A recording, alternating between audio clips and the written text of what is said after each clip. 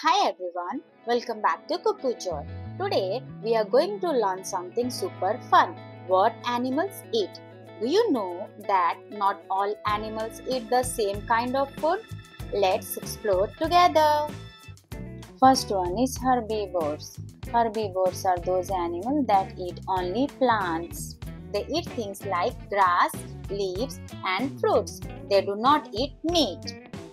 Let's see some examples cows, elephant, deer, rabbits. Herbivores have flat teeth. These teeth help them chew plants easily. So, animals that eat only plants are called herbivores. Say it with me. Animals that eat only plants are called herbivores. Now, let's learn about carnivores. Carnivores are animals that eat meat.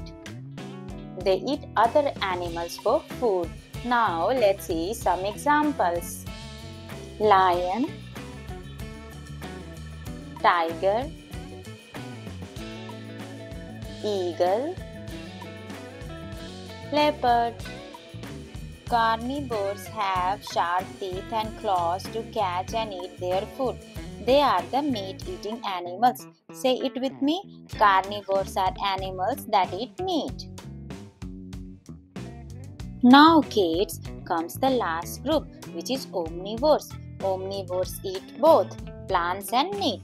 They can eat almost everything. So, omnivores are those animals that eat both plants and meat.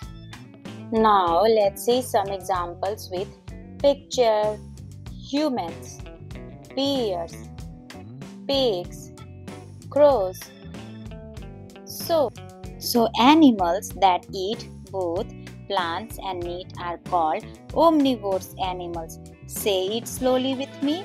Animals that eat both plants and meat are called omnivorous animals.